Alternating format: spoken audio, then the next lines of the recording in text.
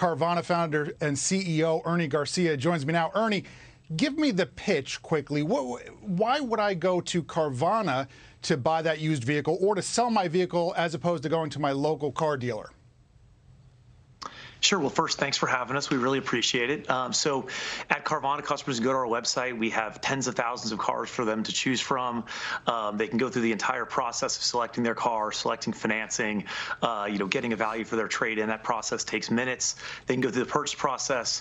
Uh, scheduled delivery will deliver to their door as soon as the next day, and then they get a seven-day return policy. And by virtue of building a, the model in a completely different way, we generally save our customers around thousand dollars. And and the ease of that experience, the savings, the selection I think, is what drives people to us. And then uh, when it comes to selling your car, that's a really simple experience as well. You can go to our website, get a value in two minutes, and then we'll come pick it up from you and give you a check whether you buy from us or not. So that's the way the, the whole business works. I wish I had a marching band and some party streamers so I could do, do justice to your latest quarterly numbers. But let me, let me just point to one that stood out. Gross profit per vehicle went over $5,000 per vehicle several years ago, that was uh, that was thousand dollars. So it's a remarkable change. What should investors be thinking about that? Are, are, are, conditions right now unique, and they should be thinking that those numbers will, will come down in the future, or you know, do you expect the the used vehicle trade to stay uh, sort of this profitable long term? Sure. So I think, you know, undoubtedly the specific conditions are, are definitely unique. We're in a strange time where car prices are higher than they've ever been before. Um, but we've made, you know, very consistent, sustainable progress over a long period of time. As you said, five years ago, our GPU was $1,000. It's continually marched up almost linearly. For the full year, we expect it to be over $4,000. And, you know, we do that by investing in our processes, by building a different kind of business model, by vertically integrating more deeply so there's fewer third parties uh, in the mix between us and customers so that we we can give a great value to our customers and also build a great business. And so I think uh, you know those most fundamental forces are, are still at play, and we expect to continue to be at play for a long time.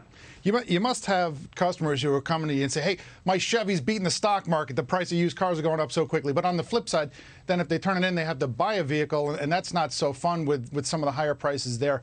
When do you think um, that that customers might get some, some, relief on the prices that they're paying for used vehicles right now? You have any kind of um, prediction uh, in the quarters ahead?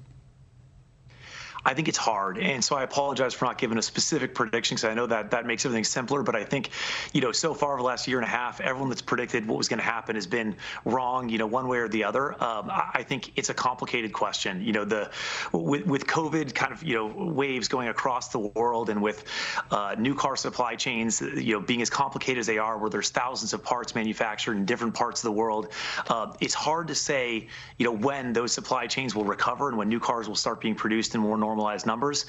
And until that happens, I think there will continue to be some disruption, or it's at least likely there will be some disruption uh, in both new and used car pricing. So I think it's a complicated question, uh, but but we'll be paying attention like everyone else your first profitable quarter. I saw that you went over 100,000 vehicles sold during the quarter. That number is multiplied, uh, you know, versus several years ago. But then I saw you're, you're at 1% market share. So what do you think about how big this business can become? Sure. Well, so you know, to your point, you know, five years ago in 2016, we sold 18,000 cars in the entire year, and then you know, in Q2 of this year, we sold 107,000 cars in a single quarter. So that just gives you a sense of how quickly that's that's growing, right? It's five times as many car sales in one fourth the amount of time. Uh, so you know, we're growing really quickly. There's clearly a lot of demand for this offering. Uh, you know, we've put out a, a, long-term goal of selling two million plus cars per year. Uh, I think the two million is important. I think the plus is important too. This is a 40 million unit per year year market. Um, you know, 40 million cars change hands uh, on the used car side alone every year in the U.S.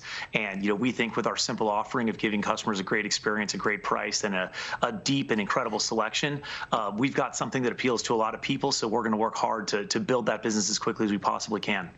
Ernie, 10 seconds. First car you ever owned. It was it was an old 4Runner with a four banger engine. It could barely make it up hills. Um, you know, we had to get out and push sometimes. I had dice in the mirror, uh, and I had you know all my friends in the back uh, with a pretty good sound system, so we were excited. It really wasn't good by any reasonable measure, but we thought it was good. It sounds pretty good to me. Carvana founder CEO Ernie Garcia, thanks for joining us.